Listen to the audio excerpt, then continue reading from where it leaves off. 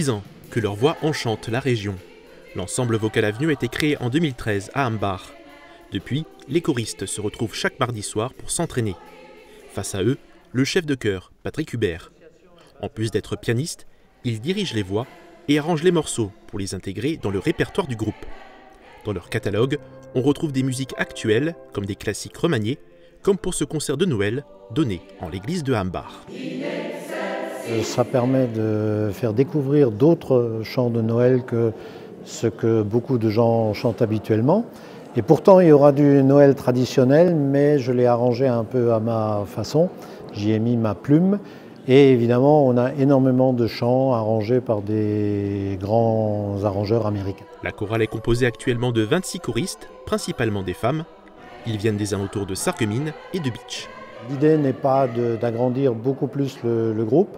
Euh, je recrute encore euh, une ou deux voix d'hommes, mais sinon l'idée c'est de rester à ce, groupe-là, sachant que la majorité des choristes euh, savent lire la musique, mais pas que. Il y en a qui ont du coaching personnalisé chez moi à la maison. Vocal Avenue a donc donné son dernier concert de l'année dans son fief, Ambar. La chorale reprendra les concerts en 2024 avec un répertoire pop opératique. On y retrouvera notamment des chansons de West Side Story, Les Misérables ou encore des Beatles.